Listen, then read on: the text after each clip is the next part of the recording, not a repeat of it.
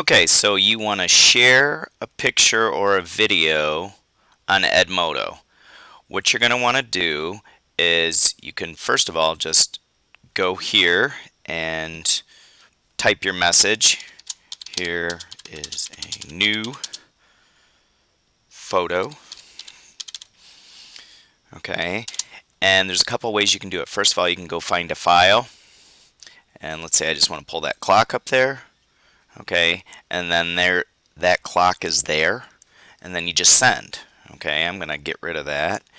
Or you can go from your library and when you go to your library you may need to upload something into your library. So here's my library okay?